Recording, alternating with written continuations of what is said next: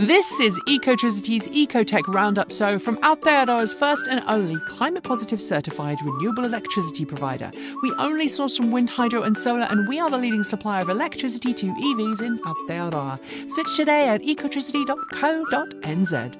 Welcome back to another roundup of news to the world of clean cars and green energy. Thanks for joining me. We start today's show with news from Tesla's annual shareholder meeting, at which the future of Elon Musk's pay deal and where Tesla will be incorporated was voted upon. In the lead up to the shareholder meeting, tallied early votes seemed to suggest that the proposal to move Tesla's state of incorporation to Texas and to reapprove Elon Musk's $55 billion pay package had split shareholder support. But the day before the meeting, Elon Musk leaked data to suggest that both had overwhelming support.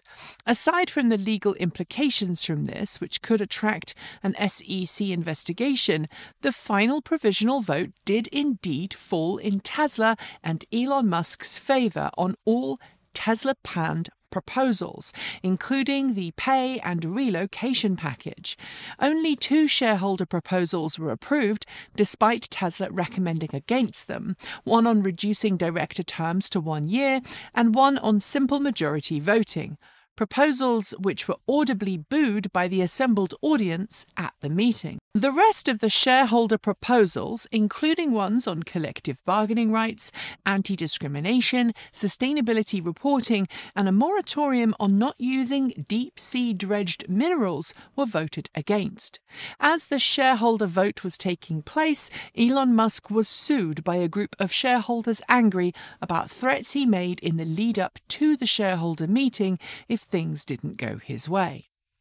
Late last week, which is why we didn't include it in last week's show, Rivian unveiled its official refresh to its R1S and R1T electric vehicles. While there's very little in appearance to differentiate the second generation models from previous model years, Rivian says there's been some big changes underneath, with the R1's onboard computer technology, infotainment, power electronics, and drivetrain all getting refreshed.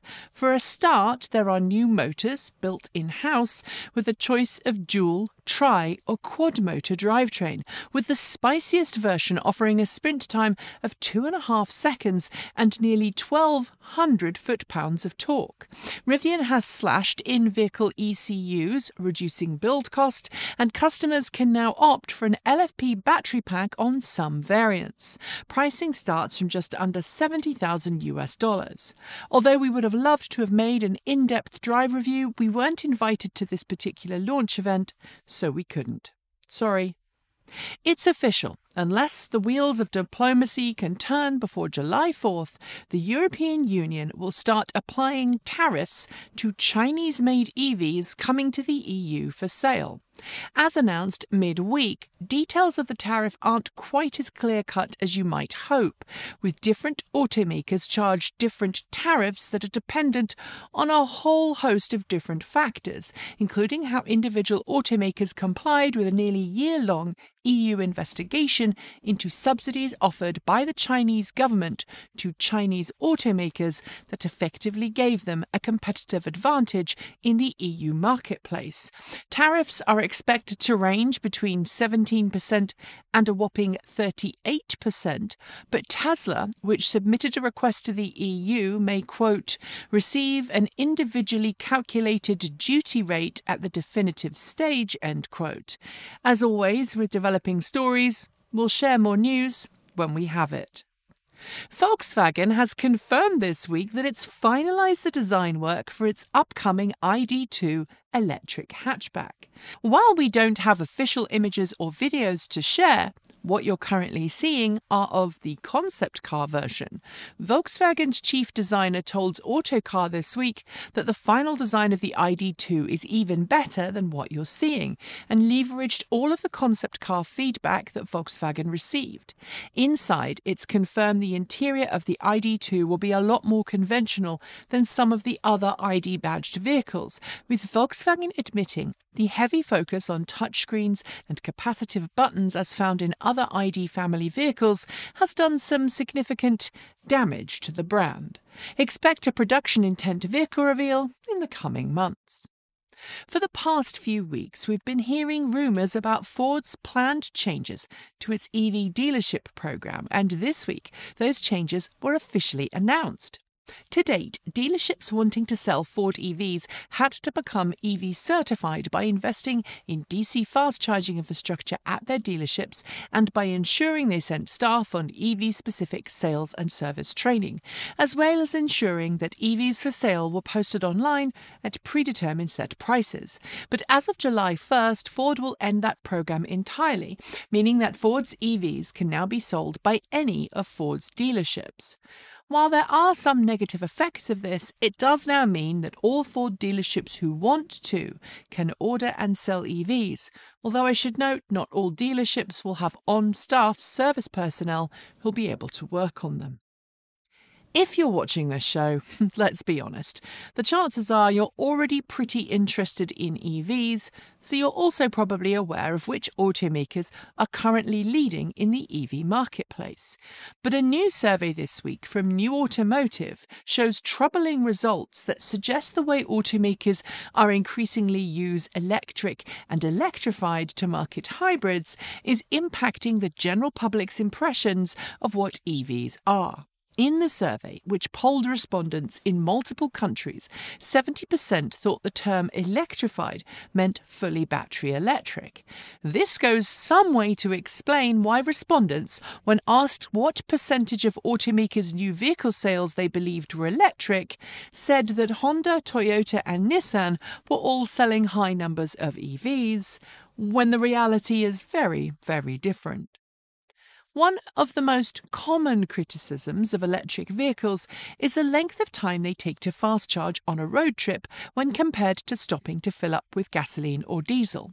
Automakers have made some really impressive improvements to fast charging over the last decade, with the latest generation of 800 volt EVs adding several hours of driving range in 15 to 20 minutes. But this week, we learned that Chinese automaker BYD, working alongside battery specialist CATL, is developing a battery that's capable of charging at rates of up to 6C, meaning you could add a few hundred miles of range in less time than it takes to visit the bathroom and grab an unhealthy snack from a nearby convenience store. This kind of charging speed is still a long way from commercialisation, but it would certainly shut up the naysayers. For a little while at least. It's official. Germany is home to more EV production than any other European country, and it's second in the world only to China. That's according to official figures from the German Automotive Industry Association, which just published its official 2023 production figures. Last year, 1.27 million plug in vehicles rolled off production lines in Germany, of which 995,000 were battery electric. Germany, it should be said, has the largest number of automotive production facilities in Europe, so it's no surprise it's also producing the highest number of EVs of any European country. That said, it shows how far other countries are behind. In second place in Europe is Spain, with just over a quarter million EVs made. Pretty much every major automaker in the world has a performance arm of some description, and while it doesn't get a lot of press attention, Alpine is the performance arm of Renault. This week, it unveiled its hot hatch variant of the upcoming Renault 5 EV, the less catchily named Alpine a290. While the name isn't exactly the best we've heard, the specs of the A290 should excite, with substantially more power at the wheels than any of the Renault 5 E-Tech variants. 180 horsepower, 132 kilowatts for the GT and GT Premium, or 220 horsepower, 161 kilowatts for the GT Performance and GTS variants. In its fastest guise, sprint times sit at 6.4 seconds, which isn't that quick for an expensive performance EV, but it's very respectable for a hot hatch designed to be quick on twisties as well as in a straight line.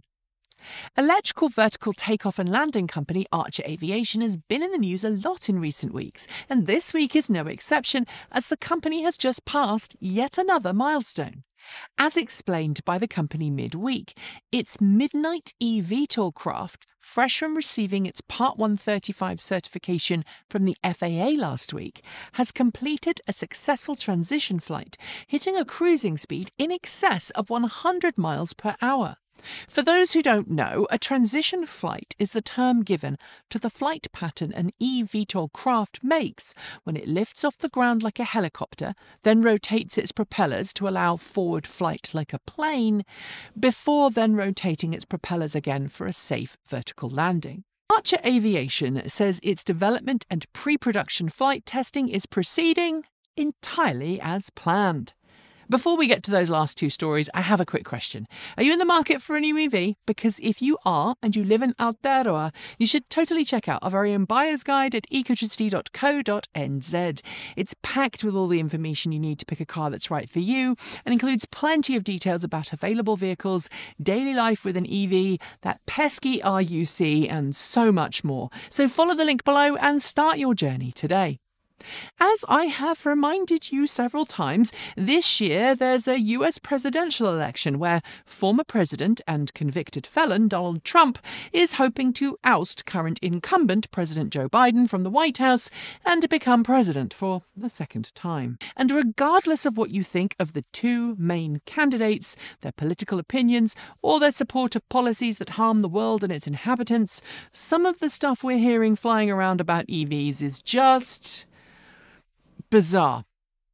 In a recent stump speech in Nevada, Donald Trump went off script and attacked electric vehicles, claiming that electric trucks are two to three times the weight of internal combustion engine ones, complained that there's no charging infrastructure, said that electric boats will sink because of their weight, implied that said electric boats will electrocute those on board in the event of a claimed sinking, and also said that every bridge in the US would require strengthening to deal with the weight of EVs. It's amusing in some ways to hear the sheer misinformation being spread, but at the very same time, also very scary, especially since so many people actually believe everything he says on pretty much every subject.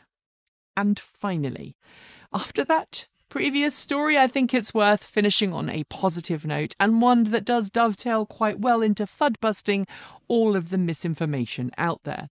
Which FUD? Well, the one that suggests nobody wants to buy or drive EVs. A claim that we hear former President Trump state very regularly, and one that we see repeated in our comments section and uttered by news outlets aplenty. But new sales data shows that in April this year, global plug in vehicle sales, that's EVs and plug in hybrids combined, soared 25% year over year, with 1.2 million new plug in vehicles hitting the road. Of those 1.2 million, 800,000 were battery electric, up 14% year over year. In the first four months of this year, 4.5 million new vehicles, representing 20% of all vehicles sold globally, were sold with a plug. I don't know about you, but that's some serious progress. And on that note, we are done for today. Before I go, though, do make sure you've hit the notification bell so you don't miss out on the latest in EV news from this channel. And if you haven't switched yet, it's high time to switch to Aotearoa's first and only climate positive certified renewable electricity provider. It is super easy to make the switch, and in doing so, you'll help the nation wean itself off dirty energy and onto clean, green power that will keep the land beautiful for generations to come. I'll be back as usual next week with a roundup show, but in the meantime, be sure to check out other great content on this channel, including that from the lovely Gavin Kiwi EV Shoebridge. Oh, and do go and check out Gav's own personal channel, where his Austin Allegro Nissan Leaf conversion is finally moving under its own power. Whoop, whoop! Well done, Gav. It looks amazing. I'm Nikki Gordon Bloomfield. Have an amazing rest of the week. Ka kite. See you next time.